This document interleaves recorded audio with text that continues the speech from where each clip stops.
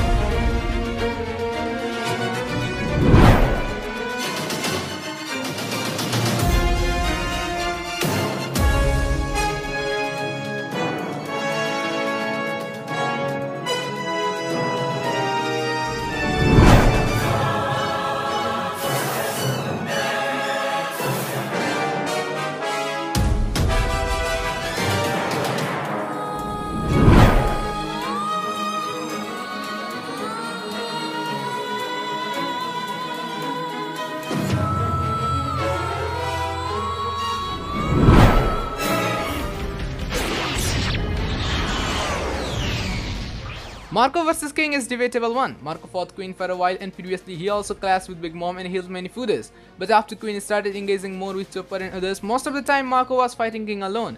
But at the end, Marco pretty much loses. Although narrator never confirmed it, Marco was in way worse shape than King was. While Marco only stopped Kaido's Boulevard after that and holds race, King take over completely healed Zoro on full one-on-one afterwards. Also, King never used his strongest attacks and forms against Marco and he doesn't seem to get any major injuries from that fight. So overall, in my opinion, King performed better.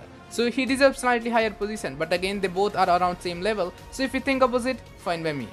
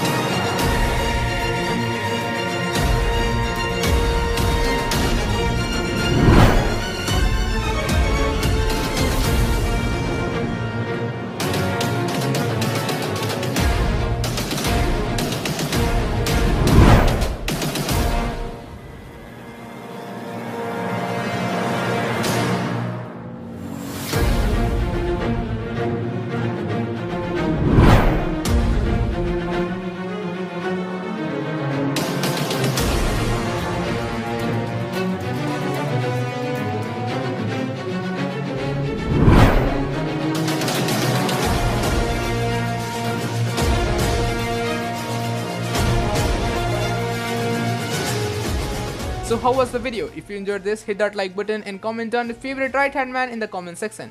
Don't forget to subscribe to our channel for more videos and you can check out these other videos as well. I'll be back soon with another video. Till then, goodbye.